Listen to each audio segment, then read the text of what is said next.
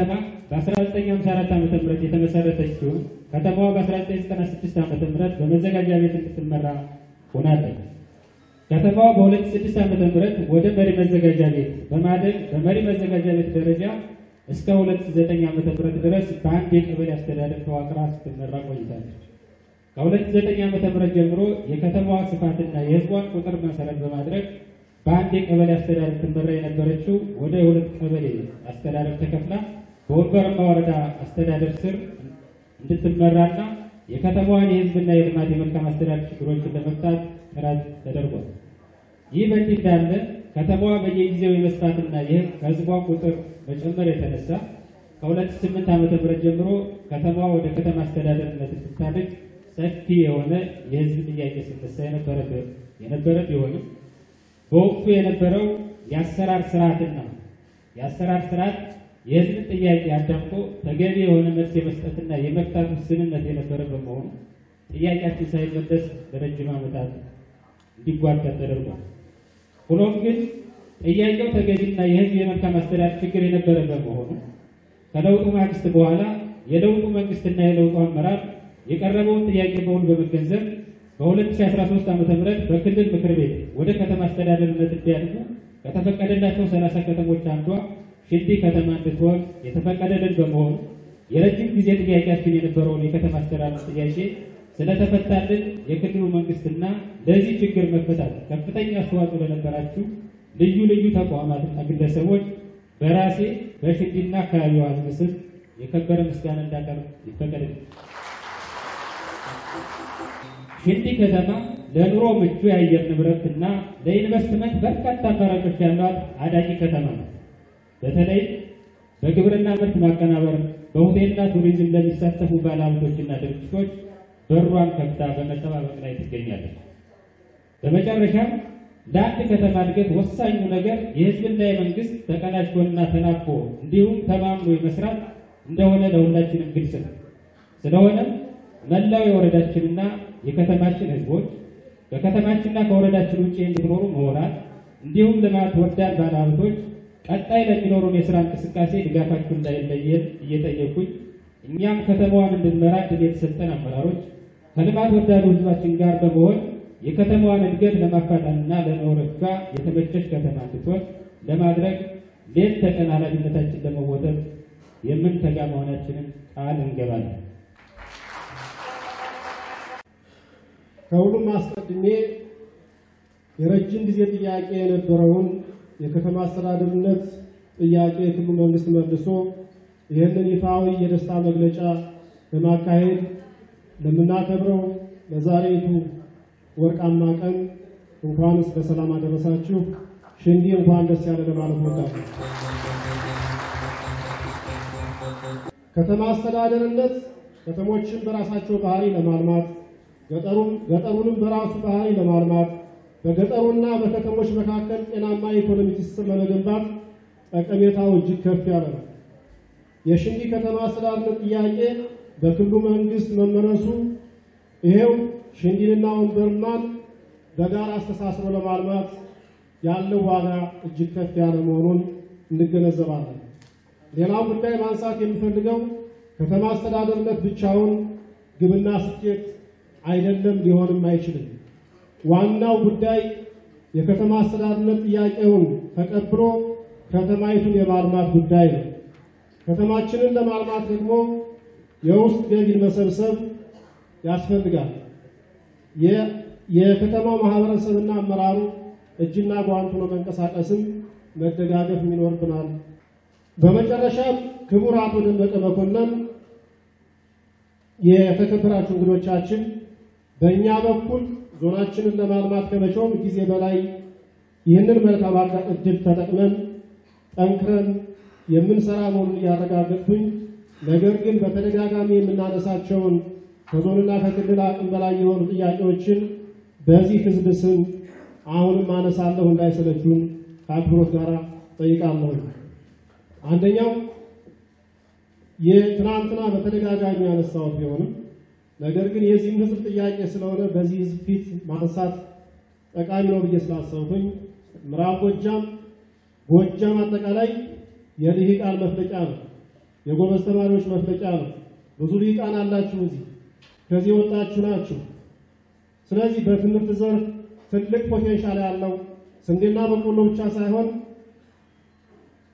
ልሂቃን የሚፈለፈሉበት የሚመረቱበት ታላቅ ዞን ነው።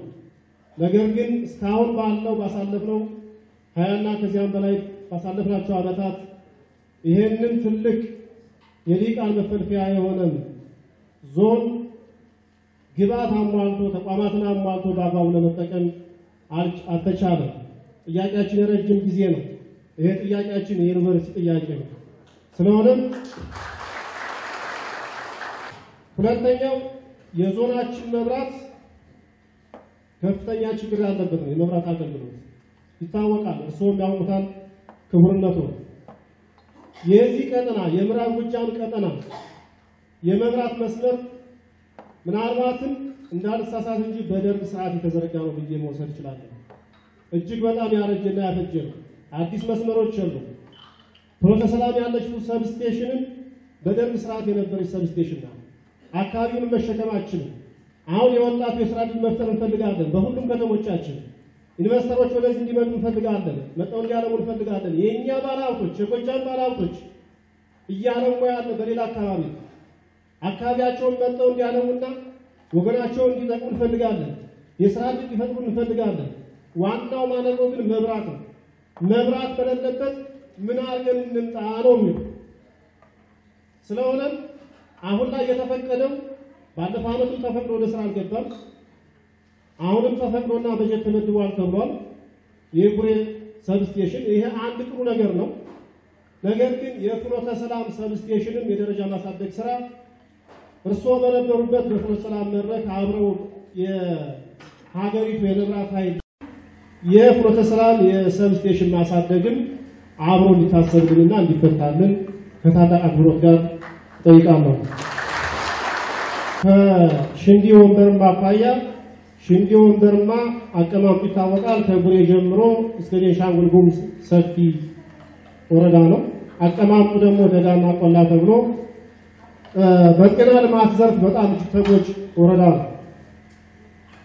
ይሄ ትልቅ ፖቴንሻል ወረዳ እና አቀማመጡ ደግሞ ለጤና አገልግሎት አስቸጋሪ የሆነ ወረዳ እና ትልቅ የልማት ህዝብ ያለበት ወረዳ እስካሁን ሆስፒታል የለውም። ካሉት የዞኖቻችን ወረዳ የዞን ወረዳዎቻችን ሆስፒታል የሌለው ወረዳ ይሄ ነው ብዬ አስባለሁ።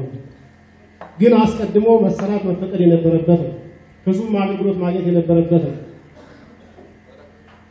ታቻማ ይመስለኛል ከሽንዲ ተወላጆችና አጠቃላይ ከባለ ሀብቶች ጋር የሆስፒታል ጥያቄ ፓናል ውይይት ተደርጎ ምናልባት ክልሉ ይፈቅዳል ተብሎ እዚች መድረክ ላይ ውይይት አድርገን ነበር እና ተስፋ ነበረ ለክልሉ የርዕሰ መስተዳድራችን ልዩ አማካሪና አቶ ደሳለኝ ስላሉ እዚህ ይህንም እንዲያደርሱልን የክልሉን ጤና ቢሮና የክልሉ መንግስት በተደጋጋሚ ጠይቀን በጀቱ ከፌዴራል የሚመጣ ነው በሚል ሰበብ እስካሁን የሽንዲ ከተማ የወንበርማ ወረዳ የሆስፒታል ጥያቄ ምላሽ አላገኘም። ቀን በቀን እንጠይቃለን እኛ።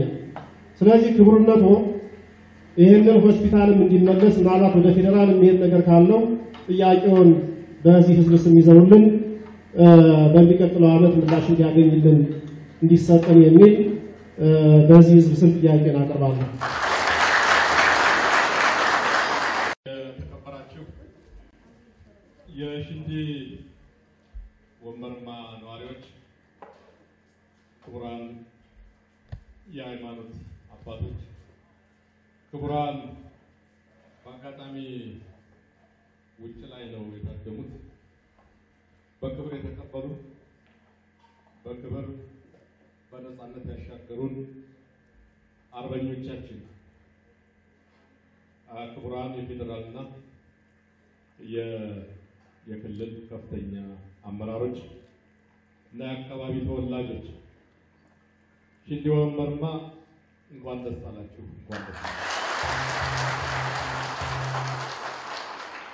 በዛሬ ታሪካዊ ቀን የኢትዮጵያና የጥቁር ሕዝቦች የነፃነት ቀን በሆነው በታላቁ ቀን በአርበኞቹ ታጅበን በዚህ ታላቅ ቦታ የሽንዲ ከተማ አስተዳደር እውቅና እየተመሰረበት እንደዚሁም ደግሞ የዘላቂ መሰረተ ልማት የመንገድ ጥያቄ በመሰረቱ ምላሽ ያገኘበት እና ስራውን ለማስጀመር ቅድመ ዝግጅቱ እየተገባደደ ባለበት ታሪካዊ ቀን ስለተገናኘን ለዚህ አካባቢ የሚበዛበት ባይሆንም የዘገየም ቢሆን በዚህ ታላቅ ቀን ይህን በማብሰራችን የተለየ ደስታና ክብር ይሰማናል። እንኳን ደስ አላችሁ።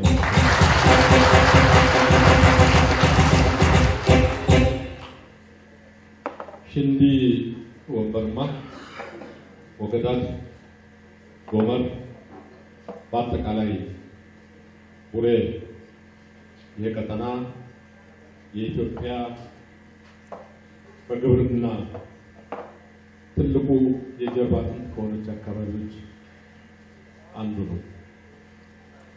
ስለ ልማት፣ ስለ ብልጽግና፣ ስለ መዘመን ሲወሳ ኢትዮጵያ ዋነኛው የእድገት ምንጭ ግብርና ነው ብለን ግብርናና ዘመን ብለን ስናወሳ ከየትኛው በላይ ቀድሞ መገኘት፣ ቀድሞ ማዘመን፣ ቀድሞ መጠየቅ፣ መቅረብ ተያይዞ መለወጥ ያለበት እዚህ አካባቢ ነው። ወንበርማ ከዚህ አኳያ በኢትዮጵያ የግብርና ምርትና ምርታማነት በተምሳሌትነቱ የሚታወቅ የሚጠቀስ የምንኮራበት የጀርባ አጥንታችን ነውና በዚህ ልንኮራ ይህን አካባቢ የበለጠ ልናዘምን ይህ አካባቢ ለራሱ ለኢትዮጵያ አስተዋጽኦ የሚያደርገው ያህል ተገቢ የሆነ የልማት ተጠቃሚነቱ ሊረጋገጥለት ይገባል ማለት ነው። በዚህ ደረጃ ይሄ 41 42 ኪሎ ሜትር በርዝመቱ ከብዙዎቹ አካባቢ አጠር ያለ ነው። በፋይዳው ግን እጅግ በጣም ዘለግ ያለ የዘለቀ ነው።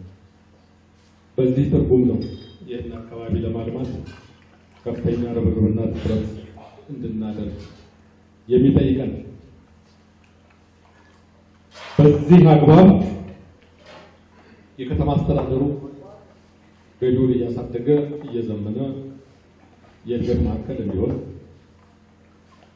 ከቡሬ ጎመን ድረስ ያለው መንገድ ደረጃውን በጠበቀ ሁኔታ በአጭር ጊዜ ውስጥ የኮንትራት ሂደቱ አልቆ እንዲጀመር የማድረግ ስለዚህ ከቡሬ ነቀምት የሚያሻግረን በተለያየ መልክ የተጓተተው በአጭር ጊዜ እንደዚሁ ወደ ስራ ገባ እየተሰራ ነው።